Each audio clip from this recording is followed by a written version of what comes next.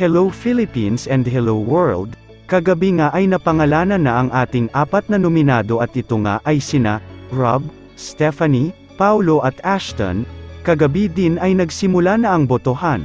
Pero bago tayo pumunta sa latest update ay narito naman ang ilang mga PBB Celebrity X housemates ang nagpakita ng suporta sa ating mga nominado gaya nga ni KD Estrada na nag-vote to save kay Rob,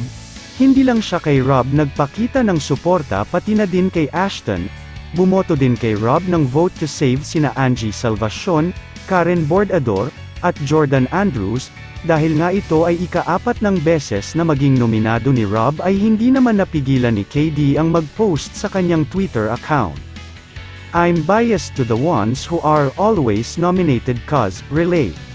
Kaya naman labis din ang tuwa ng Team Rob sa suportang ibinibigay ng mga ex-celebrity housemates, ngayon naman ay narito na ang ating isinasagawang poll survey dito sa aking YouTube channel, ito ay sinimulan natin kahapon pagkatapos e anunsyo ang mga nominado. Si Rob ang nangunguna na may pinakamalaking boto na mayroong 60% of votes, pangalawa si Ashton na mayroong 16% of votes, nasa ikatlong pwesto naman si Stephanie na mayroong 14% of votes, at nahuhuli nga si Paulo na mayroon lamang na 11%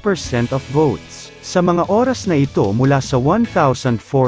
na boto ay si Paulo ang nanganganib na lumabas subalit marami pa tayong oras para bumoto. Muli isang paalala aking mga manonood na ito ay base lamang sa polso ng ating mga subscribers at mga posibleng Kumu users, dahil hindi natin mababatid ang totoong resulta sa Kumu sapagkat mayroon itong vote to evict na kailangang ibawas pero at least kahit paano ay mayroon tayong hint kung sino sa kanilang apat ang gusto ng taong bayan manatili pa sa bahay ni Kuya.